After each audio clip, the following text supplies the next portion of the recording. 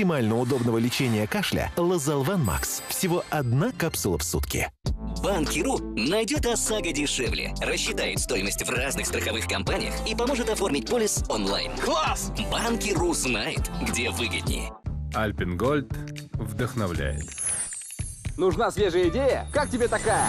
Выиграй до трех миллионов рублей и воплоти свои свежие идеи! Печень – локомотив организма. Иногда и ей нужна помощь. Сигнал получен. Гефтрал принят. Он помогает запускать три процесса естественного восстановления печени. Выведение токсинов, восстановление клеток и восполнение их энергии. Ощущать улучшение можно после первой недели приема.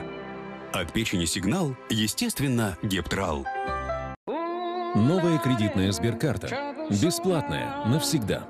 120 дней без процентов. Очевидно выгодно. Оформите в приложении Сбербанк онлайн.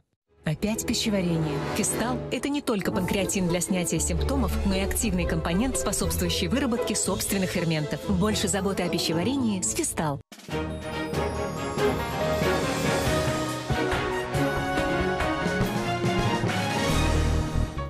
Доброе утро всем, кто продолжает смотреть телеканал «Россия». Осень золотая и сказочная пора года. Все деревья покрываются красками разных цветов и оттенков, от желтого до бурого. В это время обычно наступает сезон дождей. В воздухе начинает ощущаться прохлада. А какая погода будет сегодня?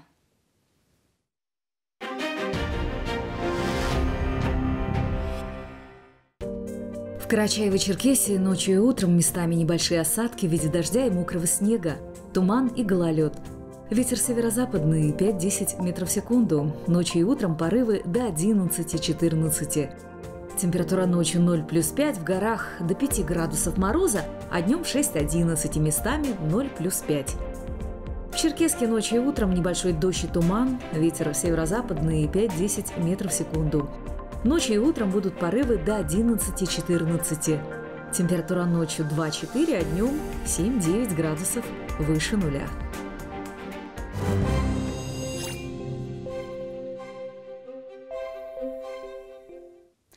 Российский путешественник покоряет Северный Кавказ. Ультрамарафонец Иван Давыдов с удовольствием предоставил свое любительское видео нашему телеканалу.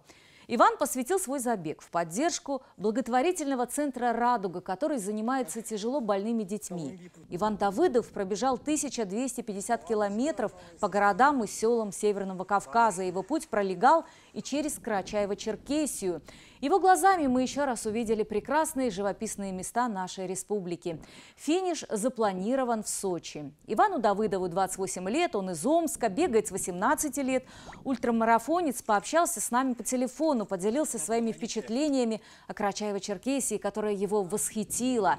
И он, не жалея сил, занимается благотворительной деятельностью для реабилитации в хосписе Дом радужного детства больных детей и приобретение необходимого оборудования. Подарить шанс на нормальную жизнь может каждый. Для этого нужно отправить смс на номер 3434 со словом «Радуга» и любой суммой пожертвования. Мотоцикл как образ жизни. А кто любители и поклонники мотоциклов? Ну, конечно, байкеры. Для нашей республики понятие «байкерское мотосообщество» относительно новое, несмотря на то, что несколько клубов у нас все-таки было. Такой клуб байкеров, как Golden Eagles, завоевал свою особую нишу. Существует он совсем недавно, но байкеры уже ведут активную деятельность. Они сотрудничают с правоохранительными органами и ратуют за безопасное движение на дорогах. И сегодня к нам в гости нет, не въехал на байке, а очень бы хотелось этого. Пришел к нам в гости президент мотоклуба Golden Eagles Эдуард Карданов. Кстати, по профессии он адвокат. Моя соведущая была Джазаева и Эдуард Карданов уже в студии. Доброе утро! И я с удовольствием уступаю нашу гостиную. Доброе утро всем. Доброе утро, Эдуард. Доброе утро. Э, вы знаете, вот впервые вижу байкера, который является адвокатом. Или наоборот. Ну, я пригласила вас в гости, потому что вы такой очень интересный человек. И мне всегда было интересно, вот, какая польза от вас, от байкеров. И хочу от первого лица, из ваших уст услышать, э, что такое байкеры, кто такие байкеры. Вы ведь президент клуба, мотоклуба Golden Eagles, и хочу узнать, как вы живете, чем вы живете, кто участники вашего клуба. Ну, рассказывайте. Ну, во-первых, скорее всего, днем адвокат, уже с вечера байкер. Мгм. А, что, какую пользу мы несем? Ну, скорее всего, для себя пользу мы несем, прежде всего. А, байкерское сообщество это, скорее всего, больше неформальное сообщество, которое живет своей жизнью. Вот есть такое четкое определение, недавно оно появилось, э, ныне покойный бедный бол, блогер такой был, ютубер. А, он дал определение этому. Байкер это человек, который принимает для себя э, правила э, мотосообщества, то есть э, байкерская жизнь. Это, то есть мотоциклист тот же самый, но который следует этим правилам. А, который носит жилет, например, Мгм. байкерский. Такой, как у вас, на Такой вас вот, сегодня, да? Примерно такой, как на мне. да. Кожаный такой, тяжелый. Не обязательно кожа. Жилет может быть и джинсовый, и кожаный, и может Но быть это и непременный куртка, атрибут. косуха. Если ты клубный байкер, то да, это... Вот, э, э, шлем. непременно. Шлем это правило дорожного движения, то есть которые нас ограничивают во- возможность езды без э, шлема, ну, вынуждены его возить. Наверное, бы, если бы не было этих правил, уже все сняли их. Ну, к сожалению, или к счастью. Ну, кроме жилета, что должно быть А. у, у члена клуба? Скажем так, вот э, клубы, давайте вот чуть-чуть начну с, э, с краткого такого ввода в историю. А мотоклубы появились, ну, явно не в России, в Соединенных Штатах, еще э, послевоенные годы. Это ветераны э, Великой Отечественной войны, ой, вернее, прошу прощения, мировой, Второй мировой войны, которые вернулись э, домой, не у дел остались, им э, вот те же мотоциклы, например, Харли Дэвидсон, у них была возможность приобрести их, или кому-то осталось с войны э, в качестве трофея там или в качестве мотоцикла, на котором они э, про- прошли эту войну, э, стали их переделывать, то есть чоп обрезать, это в нынешнее время это называется чоппер, э, превращать эти мотоциклы в более удобные мотоциклы для более быстрой езды, снимать тяжелые запчасти с них. И, соответственно, стали объединяться в сообщества в какие-то э, на базе э, тех структур, которые у них ранее были. То есть, ну, если ты ветеран, ты военный человек, у тебя должна быть четкая струк- структура, четкая иерархия. Там есть командир, есть э, подчиненные. В принципе, переняв все это, э, в этих объединениях они стали собираться в мотоклубы. Одним из первых это был, бы- были такие, такой мотоклуб э, Ангелада. Сейчас неоднозначное отношение к ним в России. Э, Ну и название тоже как бы неоднозначное. Вы знаете, вот это название, э, это как раз название подразделения. Ну, так записано, скажем так, что это название подразделения, в котором они воевали изначально. Они взяли за основу именно это название и э, превратились вот в то мото- мотосообщество, которое сейчас есть. Скажем, даже примерно такой момент есть. А, изначально, изначально вот э, законодателем вот этой всей моды были они. То есть э, ос- основание, вот основоположниками, в принципе, являются, наверное, все-таки по большей части Ангелада. Ну, вернемся к нашей жизни. Вот ваш клуб, э, мотоклуб, Мгм. правильно? Сколько в нем человек? Вы знаете, я честно скажу, да, я не вправе вот эту информацию разглашать каким-то образом. Мгм. Ну, достаточно людей, чтобы... Но у вас же есть так, тоже какие-то свои правила, правильно? Есть правила, все те же правила, которые присущи э, МС-клубам. Я хотел бы еще как бы момент такой обратить внимание. В Карачаево-Черкесии МС-клуб у нас первый. То есть у нас были более такие старые мотообъединение. Имеется в виду вот ваш Golden Eagles. Golden Eagles это первый МС-клуб Мгм. в карачаево А что такое МС-клуб? Это клуб с четкой иерархией, с четкой структурой. Это, скажем, клуб, у которого, которого есть претензия на территориальное, ну, скажем, те- территориальное первенство в этом, на этой территории непосредственно.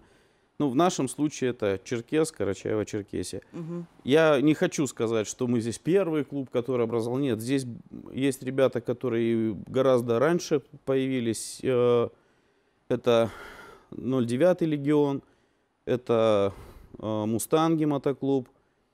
Вот. И ребята еще в Зеленчаке хорошие А вы Беркуты, правильно? Ну, в переводе, да. Golden Eagles это Беркуты.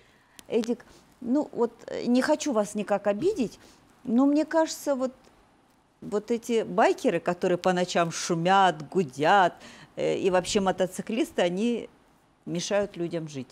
Ну, простите меня, я вот, вот, э, вот такого мнения была до знакомства с вами.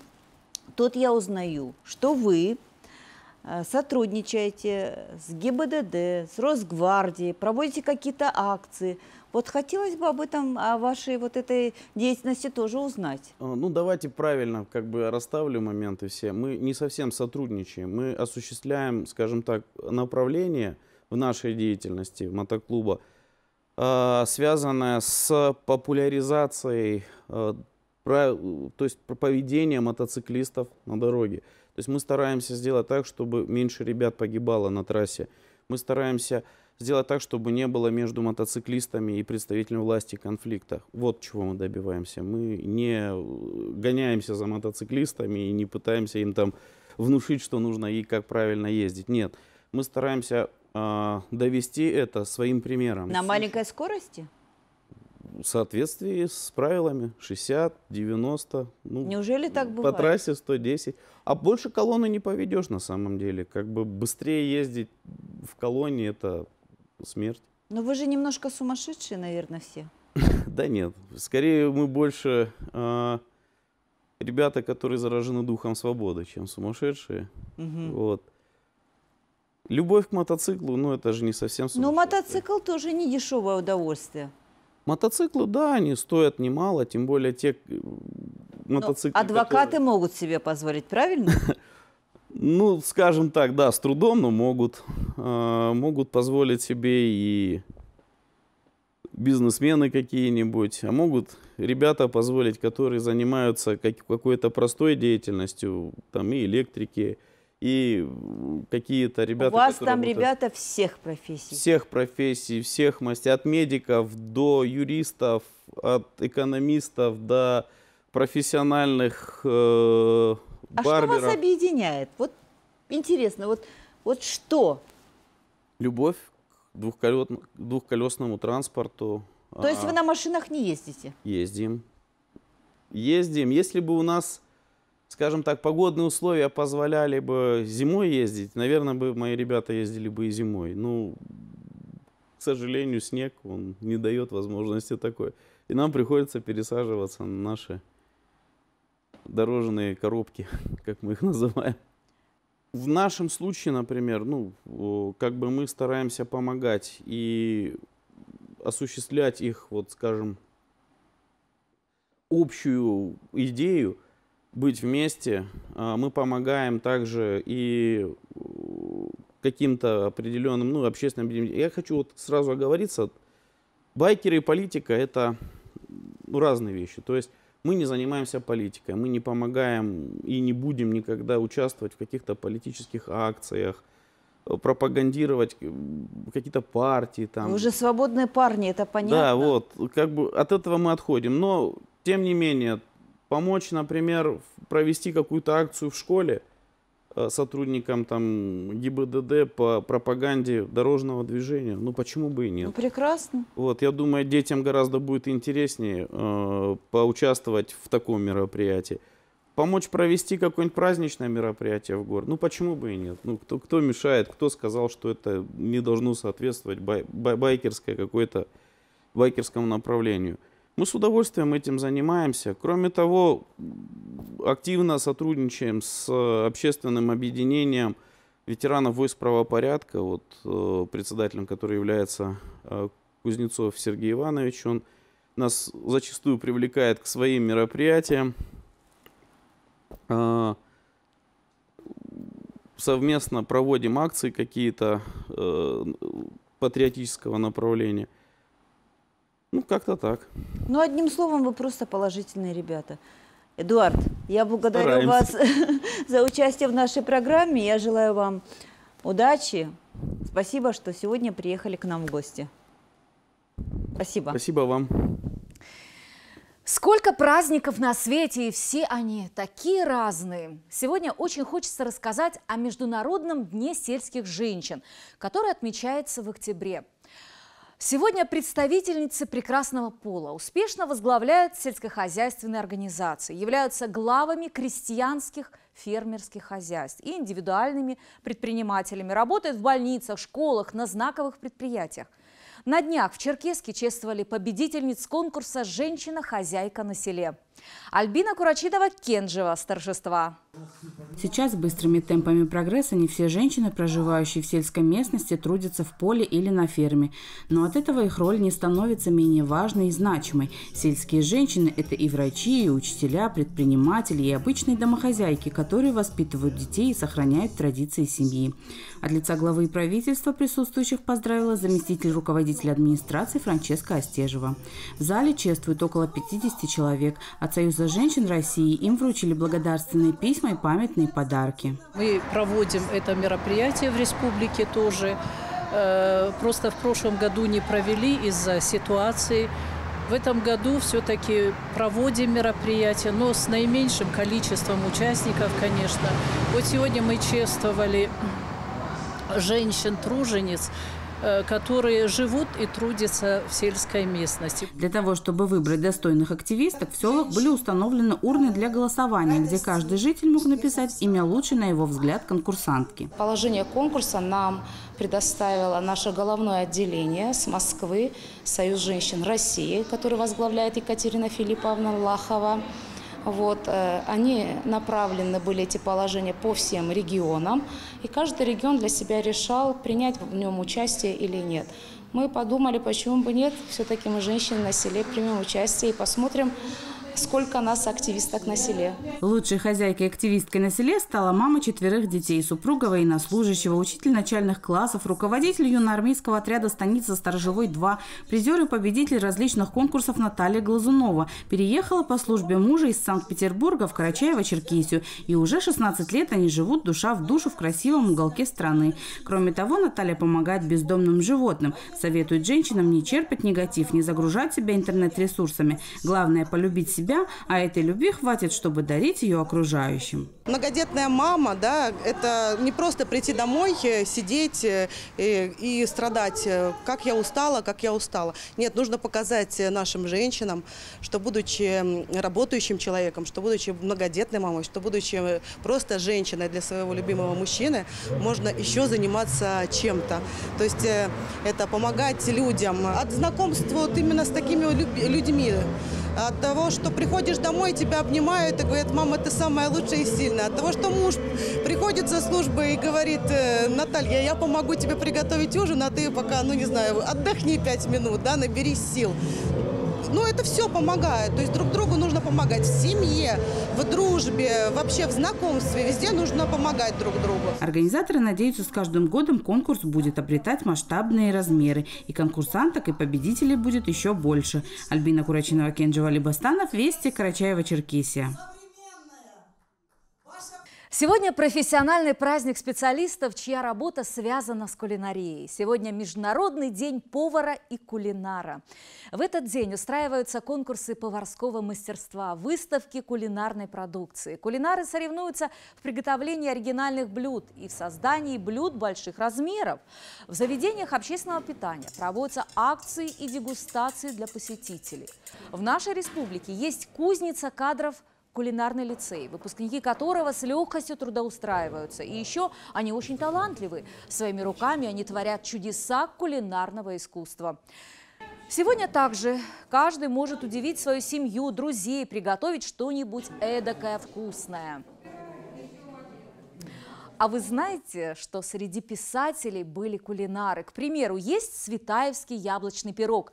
Марина Цветаева была не только талантливой поэтессой, но и потрясающим кулинаром. А еще есть салат Дюма. К сожалению, писатель так и не успел закончить свой главный поварской труд – книгу «Большой кулинарный словарь», включающую в себя почти 80-800 рецептов.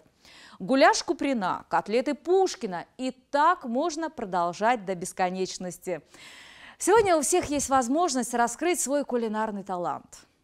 Далее телевизионный эфир на телеканале «Россия» продолжает программа о самом главном. А в 14.30 смотрите «Вести Карачаева-Черкесия». Всем удачного дня и встретимся завтра.